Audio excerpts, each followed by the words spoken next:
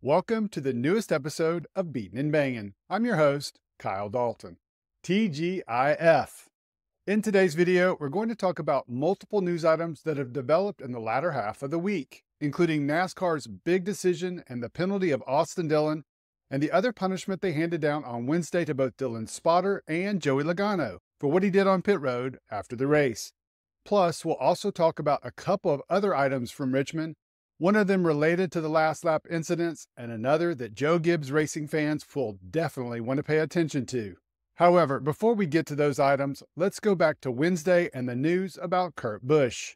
I'm not sure if you saw it, but according to the Iredell Free News, Busch was arrested late Tuesday evening after he was caught going 63 miles an hour in a 45 mile per hour zone.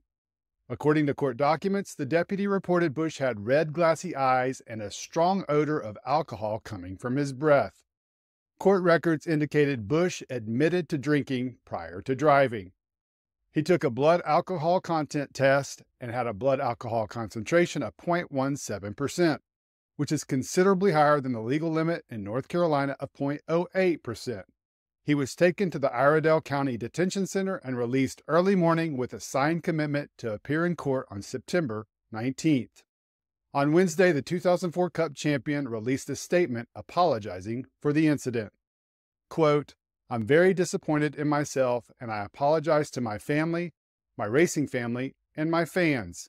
I will work with the authorities to rectify the situation and work with the county to make it a safer place in the future. End quote. Unfortunately, this isn't the first time for Busch when it comes to drinking and driving. He was also cited for reckless driving after being pulled over on a suspicion of DUI in Arizona back in November of 2005. He was ordered then to complete 50 hours of community service. I know for me, I have really strong feelings when it comes to drunk driving because it personally affected my family years ago when my 19 year old sister and two others were killed by a drunk driver.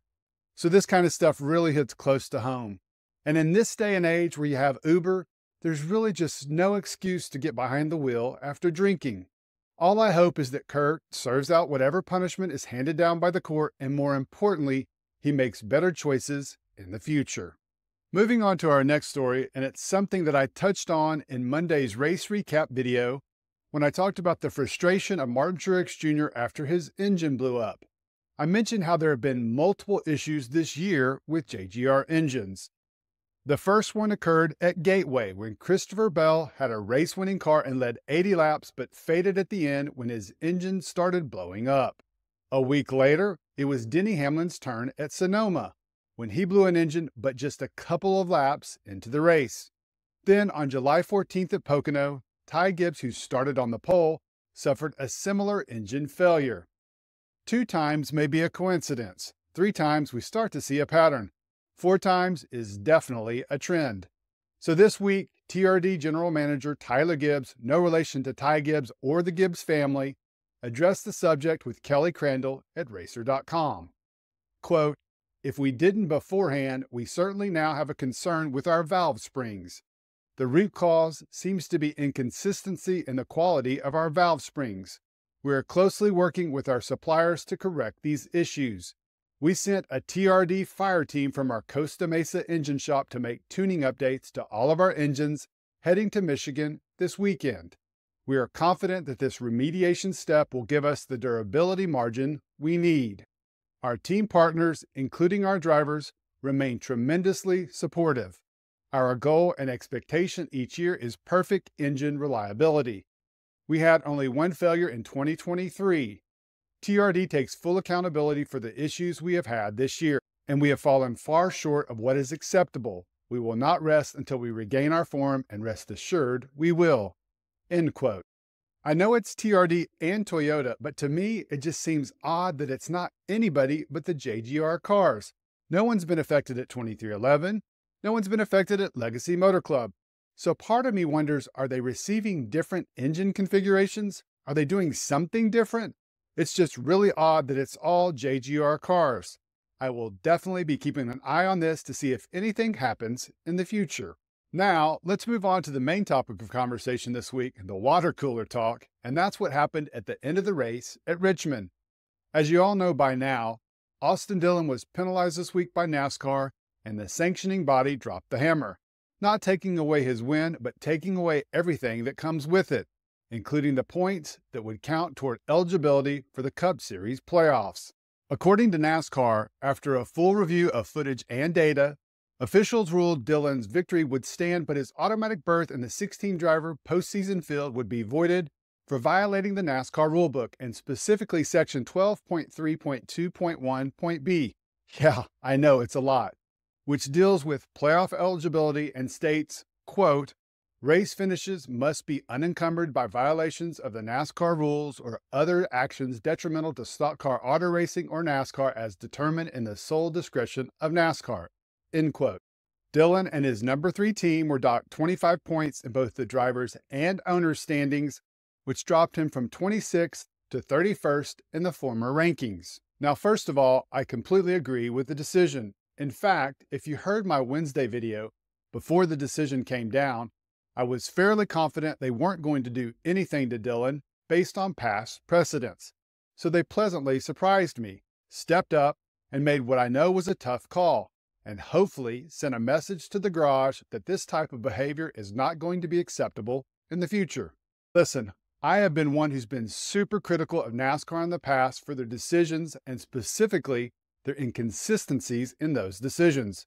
But I think they deserve a ton of credit in this situation for not only how they ruled with Dillon, but for their three race suspension of Dillon's spotter, Brandon Benesch, for his inflammatory remarks instructing the number three pilot to wreck Denny Hamlin on that final corner, and the $50,000 fine to Joey Logano for his burnout on pit road.